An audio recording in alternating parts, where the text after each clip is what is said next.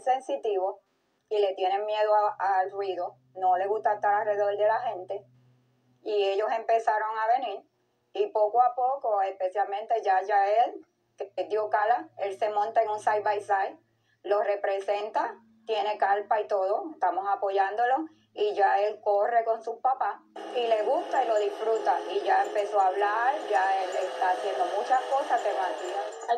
Beneficios asociados con la actividad física para niños con autismo incluyen mejor desarrollo social, cognitivo y emocional.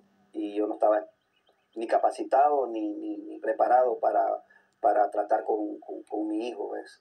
Y tuve que, que educarme, educarme para saber cómo trabajar con mi hijo. exponerlo poco a poco a las situaciones, no esconderlo en una casa y no dejarlo compartir. No, necesitamos exponerlo poco a poco con unos audífonos para que vayan unas gafas porque les molesta también mucho la claridad y exponerlo poquito a poquito y ellos van escalando.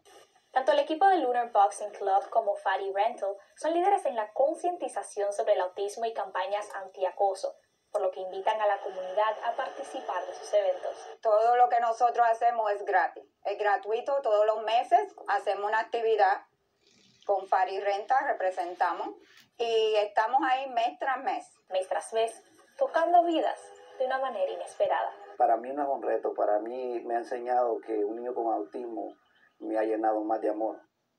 Con Mal Martel, Telemundo.